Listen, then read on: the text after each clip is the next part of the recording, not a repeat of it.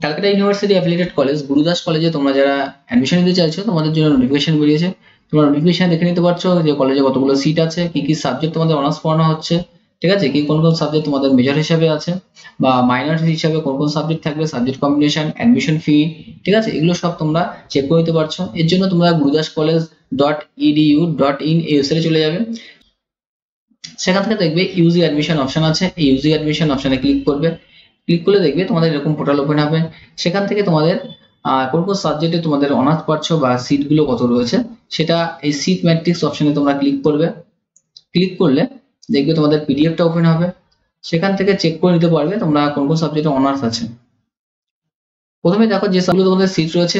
বাংলা অনার্সের জন্য সিট রয়েছে নাইনটি সেভেন ইংলিশের জন্য রয়েছে নাইনটি সেভেন হিস্ট্রির জন্য সিক্সটি এইট জার্নালিজমের জন্য ফর্টি নাইন ফিলোজফির জন্য থার্টি সেভেন পলিটিক্যাল সায়েন্সের জন্য সিক্সটি এইট সংস্কৃতের জন্য thirty seven sociology twenty eight আর আর্টসের জেনারেলের জন্য তোমাদের আর্টসের জেনারেলের জন্য রয়েছে তিনশো আটষট্টিটা সিট অনেকগুলো সিট রয়েছে ওকে বায়োকেমিস্ট্রির জন্য রয়েছে ফর্টি টু বোটানির জন্য ফিফটি থ্রি কেমিস্ট্রির জন্য সিক্সটি কম্পিউটার সায়েন্সের জন্য ফর্টি টু ইকোনমিক্সের জন্য সিক্সটি ম্যাথামেটিক্সের জন্য seventy two microbiology forty nine ফিজিক্সের জন্য সেভেন্টি টু জুলজির জন্য ফিফটি থ্রি বায়োসায়েন্সের জন্য এইটটি সেভেন আর পিওর সায়েন্সের জন্য এইটটি সেভেন সিট রয়েছে। অ্যাকাউন্টেন্সির জন্য ওয়ান এইটটি টু আর কমার্স জেনারেলের জন্য রয়েছে তিনশো তিন। টোটাল সিট রয়েছে দু হাজার এগারোটা সিট রয়েছে। ওকে এরপর তোমরা দেখে দাও অ্যাডমিশন ফিটা কত রয়েছে। অ্যাডমিশন ফি তোমাদের যেটা রয়েছে, বেঙ্গলির জন্য দেখো তোমাদের রয়েছে চার হাজার আটশো নব্বই টাকা। ঠিক আছে? বেঙ্গলি যদি অনার্স নেওয়ার সঙ্গে হিস্ট্রি সোশ্যোলজি থাকে চার হাজার আটশো নব্বই টাকা লাগছে। ইংলিশের জন্য হিস্ট্রির জন্য, এগুলো সবগুলোর জন্য তোমাদের রয়েছে চার হাজার আটশো নব্বই টাকা। এবার জার্নালিজমে যদি তোমরা অনার্স করতে চাও, সেক্ষেত্রে কিন্তু তোমাদের টাকাটা বেশি লাগছে। সেক্ষেত্রে লাগছে একুশ হাজার তিনশো ষাট টাকা। ঠিক আছে? এরপর তোমাদের ফিলোজফি আছে পলিটিক্যাল সায়েন্স আছে সোশিওলজি এগুলোর জন্য সবগুলোর জন্য তোমাদের লাগছে চার হাজার আটশো নব্বই টাকা করে। বায়োকেমিস্ট্রি যেগুলো আছে আর সেই সাবজেক্টে তোমাদের করতে গেলে উনিশ হাজার পাঁচশো ষাট টাকা লাগবে। ওকে এছাড়া তোমাদের কম্পিউটার সায়েন্সের জন্য লাগছে উনিশ হাজার পাঁচশো ষাট টাকা। বোটানি কেমিস্ট্রির জন্য লাগছে ছ হাজার কুড়ি টাকা। ইকোনমিক্সের জন্য লাগবে ম্যাথামেটিক্স মাইক্রোবায়োলজি ঠিক আছে? ইকোনমিক্স ম্যাথামেটিক্স এই সাবজেক্টের জন্য তোমাদের লাগছে ছ হাজার কুড়ি টাকা। মাইক্রোবায়োলজির জন্য কিন্তু তোমাদের লাগছে চব্বিশ হাজার ষাট টাকা। ফিজিক্সের জন্য তোমাদের লাগছে ছ হাজার কুড়ি টাকা। জিওলজির জন্য সেম লাগছে। অ্যাকাউন্টেন্সের জন্য লাগছে চার হাজার নশো পঞ্চাশ টাকা তোমাদের লাগছে।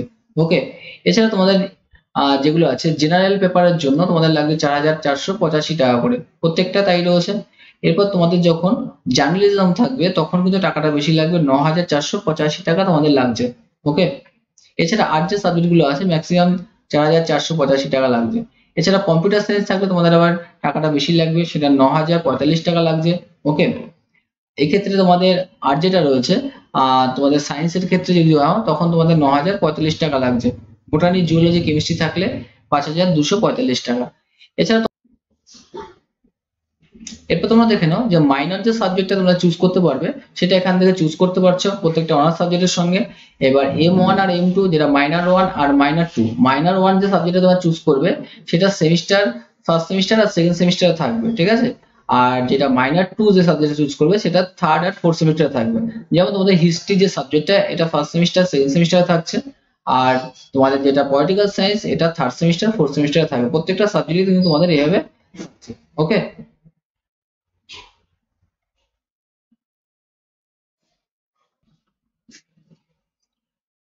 এরপর তোমরা দেখে নাও যে তোমাদের three year and four year কোর্সের জন্য যে আর্টস সায়েন্স কমার্স আছে এর জন্য তোমাদের যে এইসি সাবজেক্টটা থাকবে, এটা ফার্স্ট সেমিস্টার থাকবে কম্পালসারি ইংলিশ তোমাদের সায়েন্স আর্টস সবার জন্য, আর হচ্ছে তোমাদের কম্পালসারি ইংলিশ থাকবে, এটা সেকেন্ড সেমিস্টারে থার্ড সেমিস্টার থাকবে বাংলা অথবা অল্টারনেটিভ ইংলিশ ফোর্থ সেমিস্টারও সেম রয়েছে।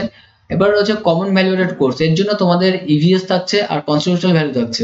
ইভিএস এর জন্য টু ক্রেডিট থাকবে, আর কনস্টিটিউশনাল এর জন্য টু ক্রেডিট থাকবে, ঠিক আছে? সেরকম কমন ভ্যালুয়েটেড কোর্সের জন্য ইভিএস আর এই সাবজেক্টটা তোমাদের চুজ করতে হবে।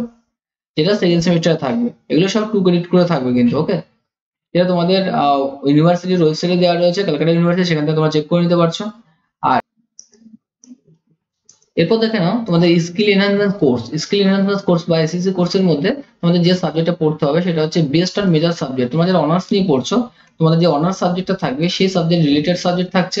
আর এখানে যারা পাশে পড়ছো, তোমাদের কোর্স সাবজেক্ট থাকবে। যে দুটো সাবজেক্ট তোমরা কোর নেবে, তার মধ্যে যে কোর্স সাবজেক্ট থাকবে, সেই কোর্স সাবজেক্টের রিলেটেড তোমাদের থাকছে। আর এদিকে তোমাদের কমার্স যারা থ্রি ইয়ার আর ফোর ইয়ার্স নিচ্ছ, তারা হচ্ছে এন্টারপ্রেনারশিপ ডেভেলপমেন্ট এটা তোমাদের থাকছে।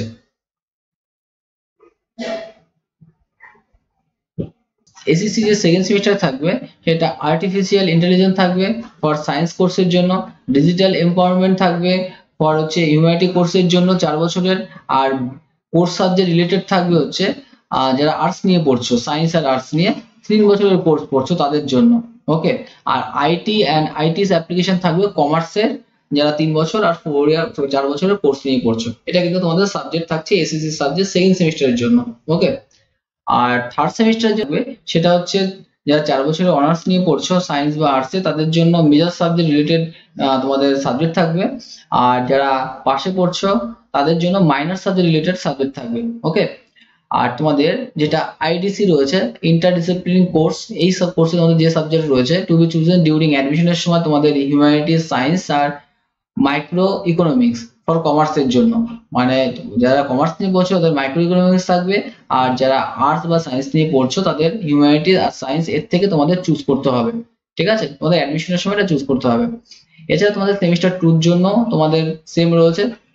আর সেমিস্টার থ্রির জন্য তোমাদের to be chosen during admission humanity and science এই সেম টাইমে তোমাদের চুজ করতে হবে। ওকে এরপর তোমরা এলিজিবিলিটি ক্রাইটেরিয়া দেখে নাও। তোমরা যারা বাংলায় অনার্স নিয়ে পড়তে চাইছো, তাদের জন্য সিক্সটি পার্সেন্ট এগ্রিগেট নাম্বার থাকতে হবে বেস্ট অফ ফোর সাবজেক্ট আর সিক্সটি পার্সেন্ট বাংলা থাকতে হবে, তাহলে তোমরা অ্যাপ্লিকেশন করতে পারবে। অথবা তোমাদের ফিফটি ফাইভ পার্সেন্ট লাগবে এগ্রিগেট নাম্বার আর সিক্সটি ফাইভ পার্সেন্ট বাংলা, আর সঙ্গে ইংলিশ যে সাবজেক্টটা তোমাদের পাস থাকতে হবে। ঠিক আছে? তাহলে তোমরা অ্যাপ্লিকেশন করতে পারছ। আর যারা তোমার রিজার্ভ ক্যাটাগরি আছে এসসি এসটি তাদের জন্য তোমাদের ফর্টি পার্সেন্ট করে নাম্বার থাকলে তোমরা অ্যাপ্লিকেশন করতে পারছ ওকে সেরকম ইংলিশের জন্য তোমাদের লাগবে best of four best of four ধরো তোমাদের চারশো রয়েছে, ঠিক আছে? এই চারশোর মধ্যে তোমাদের অন্তত ফিফটি পার্সেন্ট নাম্বার পেতে হবে এগ্রিগেটেড মানে দুশো পেতে হবে। তাহলে তোমরা অনার্সের জন্য অ্যাপ্লিকেশন করতে পারছ। আর সেভেন্টি পার্সেন্ট থাকতে হবে ইংলিশ। তাহলে তোমরা অ্যাপ্লিকেশন করতে পারবে। কিন্তু এই এত কম নাম্বারে কিন্তু পাওয়া যায় না, তোমাদের বেশি নাম্বার পেতে হবে, তাহলে তোমরা কিন্তু চান্স পেতে পারো। ওকে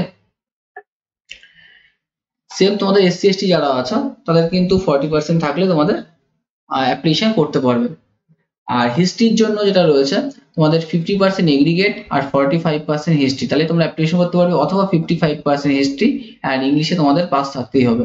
ওকে ফোর ইয়ার অনার্সের জন্য জার্নালিজমে যারা পড়তে চাও, তোমাদের ফিফটি পার্সেন্ট এগ্রিগেট পেতে হবে, আর ফর্টি ফাইভ পার্সেন্ট বাংলা অথবা ইংলিশ এবং তোমাদের ইংলিশে পাস করতেই হবে।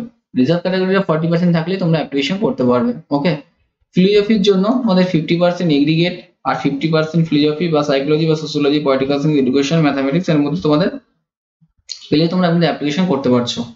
পলিটিক্যাল সায়েন্সের জন্য তোমাদের সেম আছে fifty percent aggregate forty five percent political science okay এছাড়া তোমাদের এবার সায়েন্সেরগুলো দেখে নাও। সায়েন্সের যেটা রয়েছে, তোমাদের সোশ্যোলজি যদি অনার্স করতে চাও, তোমার ফিফটি পার্সেন্ট এগ্রিগেট আর ফিফটি ফাইভ পার্সেন্ট তোমাদের পলিটিক্যাল সায়েন্সে বা সাইকোলজি সোশ্যোলজি এর মধ্যে থাকতে হবে ইংলিশে তোমাদের পাস থাকতেই হবে। প্রত্যেকটা তোমাদের ইংলিশে পাস থাকতে হচ্ছে ওকে বায়োকেমিস্ট্রির জন্য fifty percent aggregate best of four subject passed physics chemistry math এই পাস করতে হবে প্লাস বায়োলজি অথবা বায়োটেকনোলজি ইংলিশ তোমাদের পাস থাকতে হবে, তাহলে তোমরা অ্যাপ্লিকেশন করতে পারবে। বোটানির জন্য sixty percent aggregate overall best of four হিসাবে, ঠিক আছে? মানে তোমাদের বেস্ট অফ ফোর মানে চারশোর মধ্যে চারশো চব্বিশ, দুশো চল্লিশ তোমাদের নাম্বার কিন্তু পেতেই হচ্ছে। ওকে আর fifty percent English fifty percent chemistry sixty five percent biology অথবা বোটানি বায়োটেকনোলজি তাহলে তোমরা অ্যাপ্লিকেশন করতে পারছ। ইংলিশে থাকতে হচ্ছে তোমাদের ফিফটি ওকে আর কেমিস্ট্রিতে থাকতে হচ্ছে ফিফটি এছাড়া তোমাদের যেটা রয়েছে, আর বায়োলজি বা বোটানিতে তোমাদের কিন্তু ফিফটি সিক্সটি ফাইভ পার্সেন্ট পেতে হবে। তাহলে তোমরা অ্যাপ্লিকেশন করতে পারবে। ওকে কেমিস্ট্রির জন্য তোমাদের sixty aggregated sixty five percent কেমিস্ট্রিতে আর ফিজিক্সে তোমাদের পাস আর ম্যাথামেটিক্সে তোমাদের পাস থাকতে হবে, ঠিক আছে? সঙ্গে ইংলিশেও পাস থাকতে হবে, তাহলে তোমরা অ্যাপ্লিকেশন করতে পারছ। আর এসটির জন্য কিন্তু ফর্টি পার্সেন্ট করে পেলেই তোমাদের অ্যাপ্লিকেশন করতে পারবে। সায়েন্সের জন্য তোমাদের fifty percent aggregate forty five percent mathematics আর হচ্ছে তোমাদের ইংলিশে পাস করতে হবে, আর সঙ্গে ফিজিক্স কেমিস্ট্রি কম্পিউটার সায়েন্স এগুলো তোমাদের পাস করতে হচ্ছে ওকে তাহলে তোমরা অ্যাপ্লিকেশন করতে পারবে। এবারে ইকোনমিক্সে যারা অনার্স করতে চায় তাদের ফিফটি পার্সেন্ট এগ্রিগেট থাকতে হবে বেস্ট অফ ফোর প্লাস তোমাদের ম্যাথামেটিক্স বা বিজনেস ম্যাথামেটিক্স এগুলো তোমাদের পাস করলে তোমরা অ্যাপ্লিকেশন করতে পারছ। এছাড়া আরও কিছু রুলস রয়েছে, তোমরা এখান থেকে চেক করে নেবে ওকে ম্যাথামেটিক্স এর জন্য সেরকম রুলস রয়েছে ম্যাথে সিক্সটি ফাইভ পার্সেন্ট পেলে তোমরা অ্যাপ্লিকেশন করতে পারছ। সঙ্গে তোমাদের ইংলিশে পাস থাকতে হবে ওকে তাহলে তোমরা অ্যাপ্লিকেশন করতে পারবে। এছাড়া ফিফটি পার্সেন্ট এগ্রিগেট পেলেও ফিফটি ফাইভ পার্সেন্ট ম্যাথে পেলেও তোমরা অ্যাপ্লিকেশন করতে পারছ। মাইক্রোবায়োলজির জন্য ফিফটি ফাইভ পার্সেন্ট এগ্রিগেট আর fifty percent chemistry sixty percent biology আর ইংলিশে পাস এতগুলো কন্ডিশন জন্য পাস করতে পারো, তাহলে তোমাদের ফর্ম ফিল করতে পারবে ওকে ফিজিক্সের জন্য রুলস রয়েছে জিওলজির জন্য কমার্সের জন্য। কমার্সের জন্য যেমন রয়েছে সিক্সটি পার্সেন্ট এগ্রিগেট আর ম্যাথামেটিক্স পাস থাকতে হবে ফিফটি ফাইভ পার্সেন্ট তোমাদের অ্যাকাউন্টেন্সে বা ম্যাথামেটিক্সে পাস থাকতে হবে ইংলিশ পাস থাকলে তোমরা অ্যাপ্লিকেশন করতে পারবে। জেনারেল বিষয়ে পড়তে যাচ্ছ তাদের জন্য তোমাদের বা মাল্টিডিসিপ্লিনারি কোর্স তিন বছরের সেটা করতে যাচ্ছ তাদের ইংলিশে পাস করতে হবে এবং ওভারঅল পাস থাকতে হবে। আর সায়েন্সের ক্ষেত্রেও সেম রয়েছে। আর কমার্সের জন্য তোমাদের ফর্টি পার্সেন্ট এগ্রিগেট নাম্বার পেতে হবে।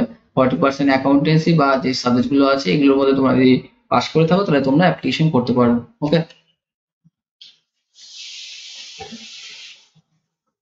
এরপর তোমাদের যে মেরিট নাম্বারটা সেটা কীভাবে তোমাদের হবে বা র্যাঙ্কিং রুলটা সেটা এখানে চেক করে দেখতে পাচ্ছ বাংলার জন্য যারা অনার্স নিয়ে পড়বে, তাদের জন্য বেস্ট অফ ফোর মার্ক থাকবে। বেস্ট অফ ফোর মানে ফোর হান্ড্রেডে তোমরা যেটা পেয়েছ ধরো ফোর হান্ড্রেড তোমরা থ্রি হান্ড্রেড পেয়েছ। আর বাংলায় পেয়েছ এইটটি এই এইটটি ইন্টু টু হবে, ঠিক আছে? ওয়ান সিক্সটি তোমাদের ওভারঅল যে নাম্বারটা পাবে, ঠিক আছে? ফোর সিক্সটি এইভাবে তোমাদের কিন্তু মেরিট স্কোর হবে।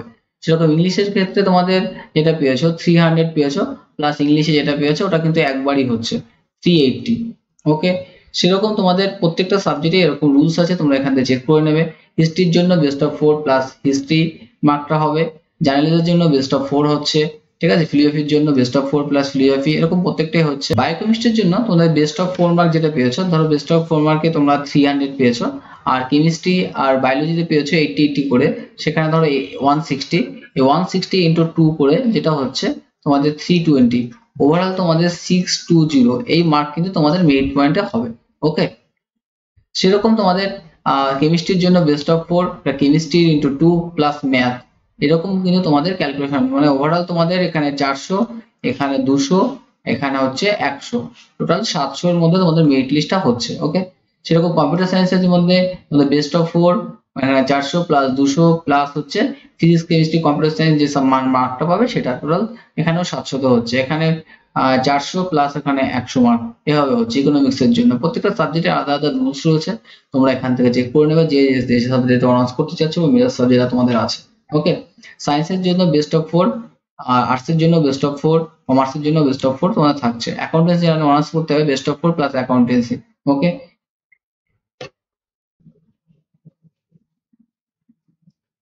এরপর তোমাদের এখানে, দেখো তোমাদের ইউজি অ্যাডমিশনের জন্য যে তিন বছরের পাশের কোর্স রয়েছে আর চার বছরের তোমাদের যে গ্রাজুয়েশনের অনার্সের কোর্স রয়েছে, সেটা তোমরা এখান থেকে চেক করে নিতে পারছ, যেটা কলকাতা ইউনিভার্সিটির ওয়েবসাইটে যেটা দেওয়া রয়েছে সেটাই এখানে রয়েছে।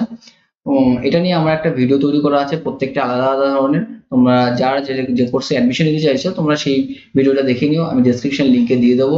সেখান থেকে তোমরা চেক করে নেবে ওকে টোটাল রেগুলেশনটা তোমরা এখন দিয়ে বুঝতে পারবে যে কীভাবে তোমরা অ্যাডমিশন নিতে পারছ, কোন কোন সাবজেক্ট কত কত ক্রেডিট মার্ক থাকবে। টোটাল কমপ্লিটটা সেখানে দেওয়া রয়েছে ওকে এই জন্য দেখো প্রথমে এই ভিডিওটা ক্লিক করলে তোমরা দেখতে পাচ্ছ যে নোটিফিকেশন তোমাদের এরকম থাকবে, সেখানে ক্রেডিট স্ট্রাকচার থাকছে এমডিসি সাবজেক্টগুলো থাকবে, ঠিক আছে? প্রত্যেকটা অনার্সের জন্য পাশের জন্য আলাদা আলাদা থাকবে। তোমাদের যদি ভিডিওটি ভালো লেগে থাকে, নিশ্চয়ই আমার চ্যানেলটিকে সাবস্ক্রাইব করবে।